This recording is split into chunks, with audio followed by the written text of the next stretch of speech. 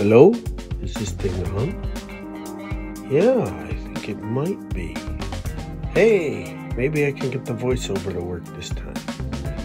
Okay, so anyways, um, this whole piece that we're, the video that we're shooting, or that I'm shooting right here is about um, bringing the SC, uh, Sump City Radio Roadshow back to the Sump. Um, the wall pieces I'm working on, and all of it is pretty much bringing those guys back to where they belong in the shack. Uh, these first shots, I'm kind of, I've got the ridge hauler built finally, and I'm trying to figure out which possibilities we're going to go because I got a trailer to go along with it, and um, I'm trying to figure out whether their shack should be on the truck or on the trailer at this point and I'm getting some good ideas with the trailer it looks. So it looks like it's going to be on the truck. So at this point, when I was fitting this in, um, and we want this to be playable, so we're going to have uh, as many opportunities to put models on this thing as possible, which wasn't really doable with the profile it had, so I figured I'd widen it. Um, I used the uh, walkways from the Promethium tank kit. Um, yeah, this worked. Um, there was a lot of stuff I cut out in this video just because, well, one, I don't think I put the ridge hauler together right. Um, even though when I did put the trailer together right, it was still crooked. Um, so, you know, that's probably me. I think I've put that in my other videos already that I kind of like stuff crooked, anyways.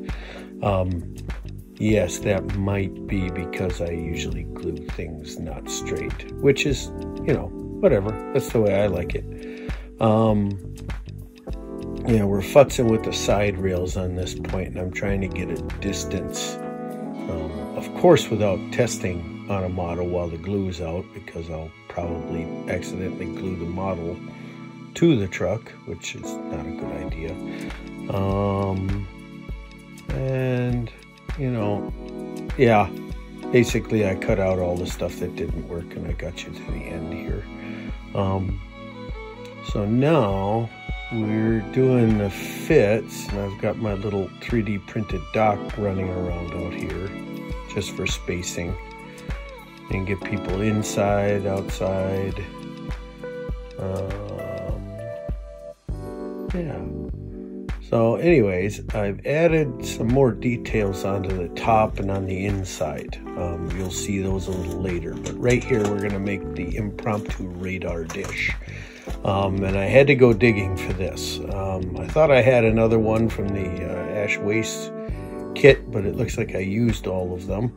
Uh, so I also think I wrote down in one of my earlier videos how well orc bits are. Uh, well, this is from uh, the Mekboy uh, kit and also from the Lootas kit. Um, a lot of what you see me scraping at this point is pretty much orc glyphs. Um, I really like making stuff like this, especially out of parts that I haven't touched for over 10 years. Um, this my favorite thing about doing all of this terrain and everything is because you know I, I do have a massive amount of of kits. Um, it's not very diverse, but I have an awful lot of the same thing over and over again. I got, I'm an orc player um, at best, orc and chaos player, so I have a ton of bits from you know years and years and years ago. Um, and you know they come in handy now. You know, especially when you kind of lose lose a little heart. I was losing it on this build because, well, I don't really know why. Kind of just not very focused but we're getting there. We're getting there. And uh, this is helping a lot right here. This guy is going to be, I was, I was extremely happy with this. Um, yeah, That looks great. So then we have a nice set set piece from uh, from the same Loota kit it looks like. And we have uh, one of the spiky holders from the ash waste kits and that'll go right on top there. It left a nice ball joint so that I could put that radar dish on an angle which was very very cool. Yeah this came together pretty pretty nicely I think the only thing that I'm disappointed at this point was that my camera was in the wrong place again um, I'm very happy that I'm not giving you guys, uh, I'm at least able to turn the dumb thing um, so that I can give you a full full screen shots of things. But yeah, so here we go on the uh, the Ridge Hauler itself. This is the SCR Shack or the the Roadshow Shack, anyways, with the radar dish on top. And me spinning it around, and look, it's not breaking. So you know, all that glue is coming in handy here, I guess. It's gonna come off. I'm gonna leave that so you can take it apart because we might want to run that without a in there at some point. Like I, I like to make everything playable if I can. Um, yeah, we're gonna get a look on the inside here. You can see there's a toolbox up top. Lid comes right off.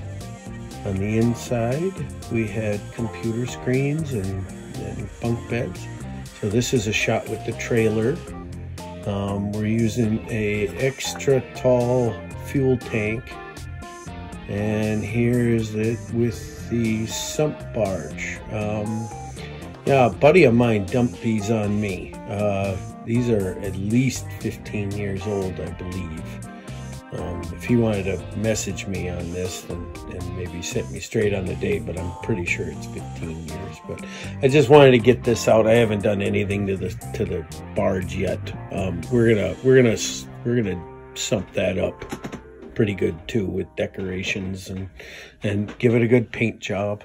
This is going to be a blast to paint. But if you guys have any questions, please feel free to comment. Um, and you know, thanks. It was a great time doing this. Have a good night.